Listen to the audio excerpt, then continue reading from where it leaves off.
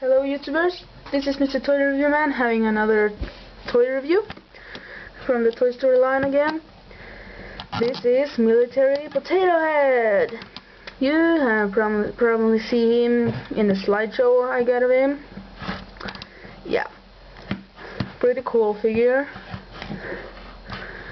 And yeah, came with the Woody doll that has the military hat. Yay!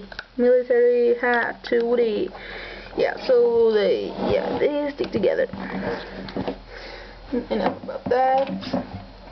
And this walkie-talkie thing, the baby talker or what it called. Yeah. Just that, that's there. Yeah, this is accessories. Came with this package and it also came with with these guys. Yeah, the soldiers. And this guy.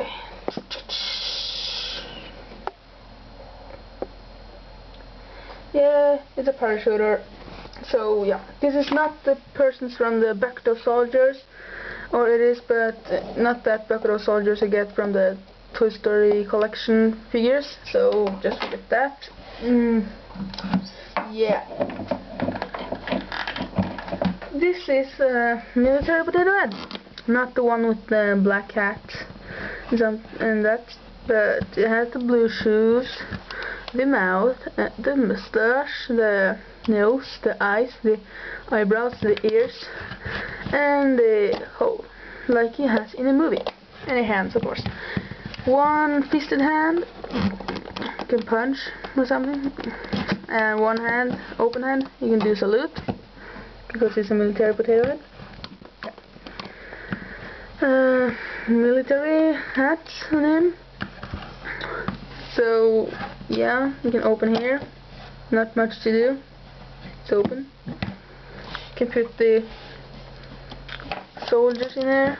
You can put all the three of them, I think, maybe four. I don't know if you can put the parachuter in them. And you just, just go and go, go, go. Just read that. Um, I don't think I had much more to say, but hmm,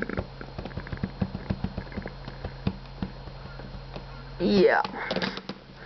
Yeah, you can you can't take off the pieces is stuck in his figure. That's pretty pretty lame. Yeah, you see something in the arm here and feet and something. Take soldiers. Oh crap. Oh crap. He lose his butt.